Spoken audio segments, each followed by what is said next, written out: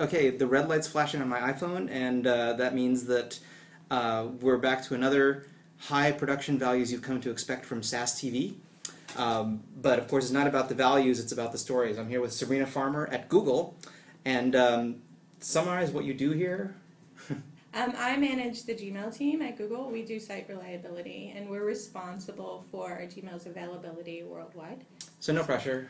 no, just, just, uh, just a you know, tens of million millions, people. hundreds yeah. of millions of people relying on you and your team. Yes. And the reason that I'm here with Sabrina is she gave a really excellent talk at the Usenix conference a month or two ago, um, talking about some challenges that, uh, you know, from her point of view, that she's faced as a woman in computer science, but I think are faced by so many of us in computer science that I wanted to capture some of it on video. Um, one of the things that you mentioned in your talk is you originally, not only did you not intend to get a computer science degree, you originally were not even thinking of going to college.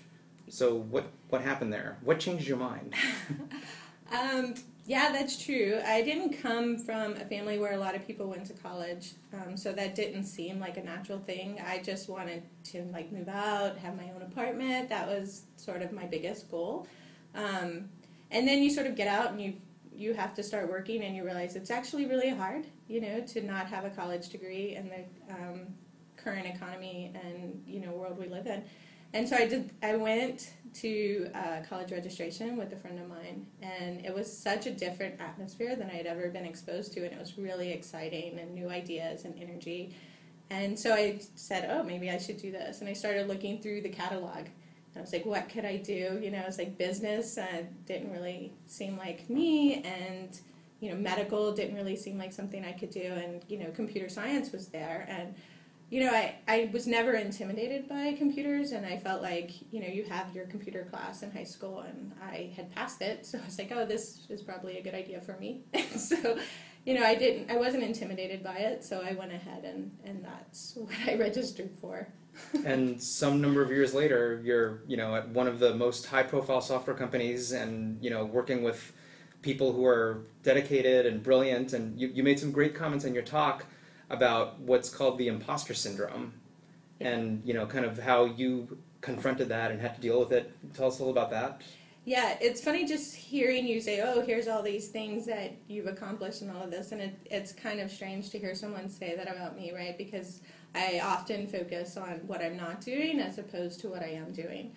Um, so, yeah, I Well, um, I guess one of the things that, that came across for me in your talk is the sense of, you know, you, you it's easy to get thrust into these positions with people who are doing all this stuff around you and kind of feeling, you know, are you, I don't know, measuring up to the standards that, that your organization expects or that your coworkers expect. I mean, I know I've, you know, I've pretty much felt like that in every computer science job I've been in because I've had the good fortune to be surrounded by smart people.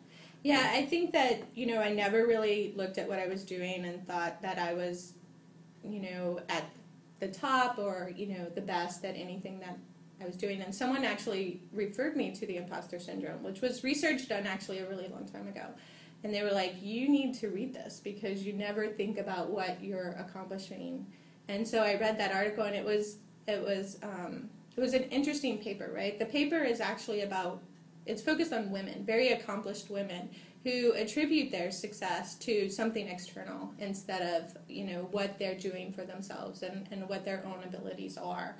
And all of a sudden, I was like, oh, there's a name associated with it. You know, it's not really um, something, it's not really that I'm not doing it. It's just this perception that I have.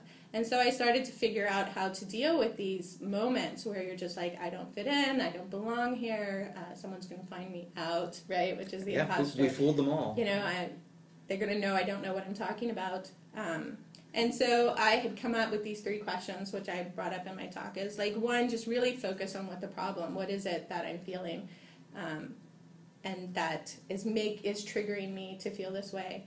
Um, and the next thing is is you know what's the worst thing that can happen, right? It often manifests in a time when someone challenges you to do something really hard, Mhm. and all of a sudden you're like, oh my god, can I do it? and you start to freak out and you're like they're going to find out and so you really need to think about well what's the worst thing that can happen right like oh you fail maybe right it's really Sure. maybe and then the last thing was really focused on on the feelings that I had and is it is it real or is it you know just my perspective right? Is it just an emotional response to this challenge that I've been given?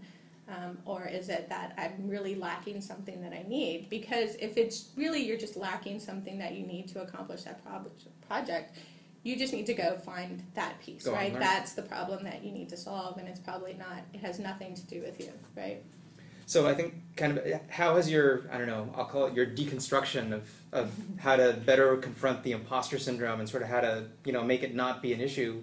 Um, how has that affected the way that you uh, deal with you know work life balance kinds of things and you know has it made a difference in you know not focusing on what you're not doing gives you more time to focus on yourself or Um, I think one of the things that's helped the most is to sort of learn how to verbalize it, you know, and tell people that this is, you know, something you're going through and um, get their support, right? Like, I think in general, just getting some reassurance helps a lot.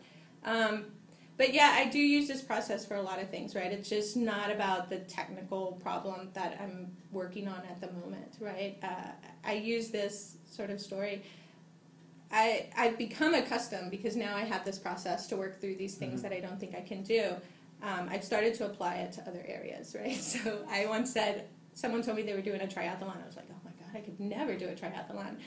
And then that became a trigger for me. Hmm. Like, right, well, why, right? What are those So three what- what are you things, missing? Right. So then I signed up and did a triathlon, right? And all of a sudden it's like, oh, well, I couldn't do another one, you know, and I actually did another one. And, you know, I think that happens for everything, right? Like, if I, it's kind of a trigger. If I say something's impossible, or if I say I can't do it, then all of a sudden I'm like, oh, well, you need to test yourself and well you know I, I think know it's, that it's true. really interesting that you put it that way because I think a thing that engineers do is we we take things that emerge from the need to deal with something at work and then we find ways to use them for non-work related things. So maybe I'll go out and do a triathlon. I don't know. Yeah. But the, the, the Sabrina Farmer method for overcoming any obstacle.